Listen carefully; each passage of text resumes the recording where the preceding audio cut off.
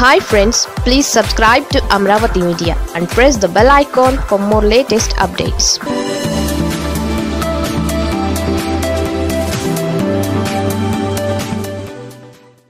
ఇద్దరు మంత్రులతో TDP MLA చర్చలు. వైసీపీ ఎంట్రీ ఖాయమేనా? తెలుగుదేశం పార్టీలో కీలక నేతలు కొంతమంది బయట ఇది జగన్ మార్క్ రాజకీయం. పవన్ ఓటమికి మళ్ళీ స్కెచ్ రెడీ.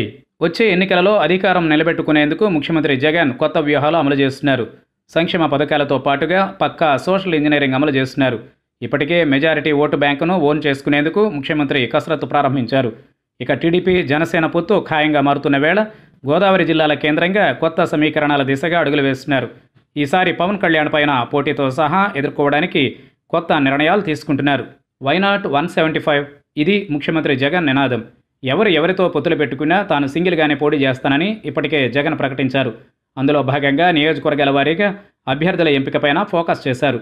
ప్రత్యర్థి పార్టీల అభ్యర్థులు సామాజిక సమీకరణాలు స్థానిక అంశాలు సర్వే నివేదికల ఆధారంగా అభ్యర్థులను ఫైనల్ చేస్తున్నారు. ఇదే సమయంలో ఆసక్తికరమైన నియోజకవర్గాలలో కొత్త నేతలను పార్టీలోకి ఆహ్వానిస్తున్నారు. అందులో భాగంగా ఈసారి టీడీపీ జనసేన పొత్తుతో గోదావరి జిల్లాల్లో ప్రభావం ఉంటుందనే అంచనాల నడుమ కొత్త వ్యూహాలు సిద్ధం చేస్తున్నారు.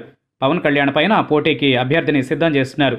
తాజాగా కాపు ఉద్యమ నేత ముద్రగడ తాను త్వరలోనే తన రాజకీయ నిర్ణయం ప్రకటిస్తానని వెల్లడించారు. ముద్రగడ పద్మనాభం వైసీపీలోకి ఎంట్రీ ఇచ్చేందుకు రంగం సిద్ధమైందని సమాచారం. కుమారుడితో సహా పార్టీలో చేరతారని ఇందుకు ముహూర్తం కూడా ఖరారైందని తెలుస్తోంది. ముద్రగడ లేదా ఆయన కుమారుడిని వచ్చే ఎన్నికలలో వైసీపీ నుంచి పిఠాపురం అభ్యర్థిగా బరిలో దించుతారని చెబుతున్నారు. పిఠాపురం నుంచి జనసేన అధినేత పవన్ కళ్యాణ్ పోటీ చేయడం ఖాయమని సమాచారం. గత ఎన్నికలలో పశ్చిమ నుంచి పోటీ చేసిన పవన్ ఈసారి తూర్పు నుంచి పోటీకి సిద్ధమవుతున్నారు. ముద్రగడకు ప్రతిపాడు పిఠాపురం నియోజకవర్గంలో పట్టుంది. కాపు ఉద్యమ నేతగా గుర్తింపు ఉంది. చంద్రబాబుతో విభేదించిన ముద్రగడను జనసేనాని పైన అభ్యర్థిగా దింపుతారని తెలుస్తోంది. రెండు వేల తొమ్మిదిలో పిఠాపురం నుంచి కాంగ్రెస్ అభ్యర్థిగా పోటీ చేసిన ముద్రగడ ఓడిపోయారు.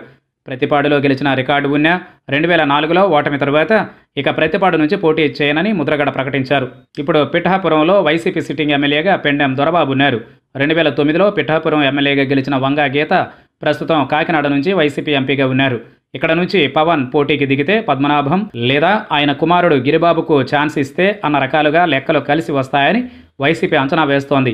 రెండు వేల పంతొమ్మిది ఎన్నికలలో పవన్ పైన రెండు చోట్ల వైసీపీ అభ్యర్థులే గెలుపొందారు. స్థానికంగా రాజకీయంగా పట్టు ఉన్న నేతలు వైసీపీలో ఉండడంతో ఈ సీటును ముద్రగడ కుటుంబానికి కేటాయిస్తే పవన్ పైన పైచేయి సాధించవచ్చని లెక్కలు వేస్తున్నారు. దీంతో ఇప్పుడు ముద్రగడ ఎంట్రీ ద్వారా పవన్ కళ్యాణ్ను ఆత్మరక్షణలోకి నెట్టే వ్యూహానికి వైసీపీ పదును పెడుతోంది. రాష్ట్రంలో అధికారం డిసైడ్ చేసే గోదావరి జిల్లాల్లో సమీకరణాలపైన ముద్రగడ పద్మనాభం ప్రభావం ఉంటుందని అంచనా వేస్తోంది. రెండు మూడు రోజుల్లోనే ఈ మొత్తం వ్యవహారం పైన స్పష్టత వచ్చే అవకాశం కనిపిస్తోంది.